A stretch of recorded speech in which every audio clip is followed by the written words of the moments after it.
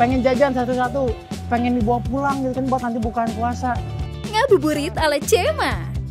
Hunting cemilan buka puasa sambil bantu bikin sosis kentang mozzarella yang enak. Nih kalau misalnya lihat di luarnya tuh crispy banget. Tapi dalamnya lembut banget. Snack Hunter.